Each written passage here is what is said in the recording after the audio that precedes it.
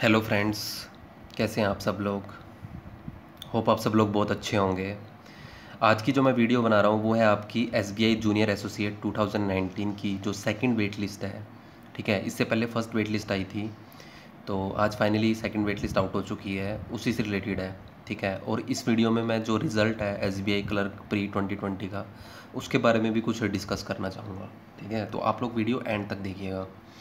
देखिए, सबसे पहले आपको पता ही होगा, जो आपका वेट लिस्ट है, वो आउट हुआ है सेकंड वेट लिस्ट तो इसको देखना कैसे है आपको सबसे पहले? आपको एस बी आई करियर पर क्लिक करना है, ठीक है? ये ऊपर एक एस बी आई करियर का पेज है, इस पर क्लिक करके आपके पास ये विंडो ओपन हो जाएगी।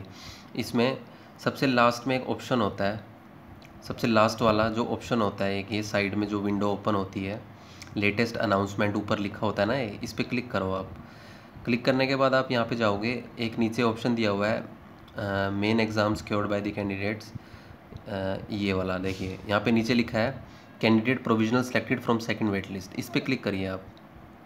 जैसे आप इस पर क्लिक करते हो आपके पास एक नई विंडो ओपन हो जाएगी और ये आ गया आपका पूरा जो टोटल स्टूडेंट सेलेक्ट हुए हैं सेकेंड वेट लिस्ट के अंदर वो ठीक है? आ, और ये देखिए इसमें आप मान के चलिए जो इन्होंने सेकंड वेट लिस्ट निकाली है ये, इसमें कुछ स्टूडेंट जो फ़र्स्ट वेट लिस्ट वाले होंगे, ठीक है, वो या तो I B P S P O में सिलेक्ट हुए हैं, ठीक है, या किसी दूसरी हायर पोस्ट पे सिलेक्ट हुए हैं, किसी दूसरे एग्ज़ाम में, उन्होंने छोड़ा है। या कुछ स्टूडेंट वो होंगे, जिनका होम स्टेट में कहीं ना कहीं अपना, या तो क्लर्क में हो गया होगा, ठीक है होम स्टेट में क्लर्क में हो गया होगा, और एसबीआई उन्होंने दूसरी स्टेट से डाला होगा तो उनका हुआ है इस सेकेंड वेट लिस्ट के अंदर, ठीक है? तो ये चीज़ इम्पोर्टेंट थी। और अब लोग हम बात करते हैं जो आपका S B I clerk pre का रिज़ल्ट है 2020 का, उसी से रिलेटेड ठीक है? बहुत इंपॉर्टेंट चीज़ बताने वाला हूँ मैं, आप थोड़ा ध्यान से देखिएगा, जो 2020 का रिज़ल्ट है। अब आप एक देख, एक चीज़ देखिए। सेकेंड वेट लिस्ट आउट हो चुकी है, इसके बाद थर्ड वेट लिस्ट भी आनी है, ठीक है? और थर्ड वेट लिस्ट मान के चलिए आप दो महीने बाद आएगी वो मैक्सिमम टू मैक्सिमम ठीक है? नवंबर में जाके। क्योंकि इससे पहले वाली जो वेट लिस्ट आई थी, आपको पता है फ़र्स्ट वेट लिस्ट काफ़ी पहले आई थी बट वो कोरोना की वजह से कुछ ना कुछ डिले हो गया था बीच में। और ज्वाइनिंग भी जो फ़र्स्ट वेट लिस्ट थे, जो सिलेक्टेड हुए थे, उनकी फिफ्टीन ऑफ़ जुलाई को ज्वाइनिंग हुई थी, ठीक है?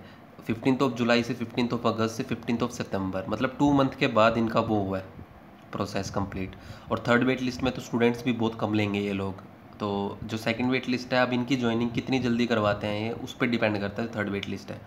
अब एक ये प्रोसेस हो गया, ठीक है? उसके बाद जो थर्ड वे जो अपना रिज़ल्ट है एस बी क्लर्क प्री का, इसमें आप ये देखिए, इनके पास अक्टूबर की डेट है, अगर ये मेंस करवाते हैं एस बी आई का, ठीक है? और अक्टूबर में आप मान के चलिए फ़र्स्ट वीक में हो नहीं सकता, ठीक है? क्योंकि फ़र्स्ट वीक के अंदर I B P S P O का, ठीक है? I B P S P O का sorry I B P S P O का आपका प्री है फ़र्स्ट वीक में। ठीक है? उसके बाद सत अठारह को आपका R R B P O का मेंस है और शायद मैं, अगर मैं गलत ना हूँ तो अक्टूबर के एंड में आपका आर आर बी क्लर्क का मेंस है। ठीक है? अब डेट बचती है आपकी सेवनटीन ऑफ़ अक्टूबर के अराउंड ठीक है? सेवनटीन ऑफ़ अक्टूबर के अराउंड अगर मेंस लेते हैं ये लोग, ठीक है? ज़्यादा चांसेस हैं इसी डेट के अराउंड इसका मेंस होने का। ठीक है? तो आप मान के चलिए रिज़ल्ट आपका कब तक आना चाहिए? सितंबर के एंड वीक तक आप मान के चलिए S B I clerk pre का रिज़ल्ट आ सकता है। ये हाई चांसेस हैं सितंबर एंड तक या अक्टूबर फ़र्स्ट वीक तक, क्योंकि मैक्सिमम टू मैक्सिमम आपको पंद्रह दिन मिलेंगे मेंस के लिए। जो एस बी आई का क्लर्क का मेंस होगा इस साल वाला, उसके लिए आपको पंद्रह दिन देंगे मैक्सिमम टू मैक्सिमम तो गाइज़ मैं ये कहूँगा कि जितना आप अभी पढ़ रहे हो, ठीक है, अपनी तैयारी थोड़ा और ज़्यादा करना शुरू कर दीजिए। क्योंकि रिज़ल्ट का यार ऐसा होता है ना कि कई बार, और एसबीआई का तो आपको पता ही है, मैक्सिमम बहुत कम दिन मिल देता है मेंस के लिए, ठीक है। तो आप मई मंथ से उठा लीजिए अभी अपना। मई से लेके आप अक्टूबर तक लेके चलिए आप, जो आपके करंट अफेयर्स हैं। इतना आपको पढ़ना ही है। किसी एक सोर्स को फॉलो करो।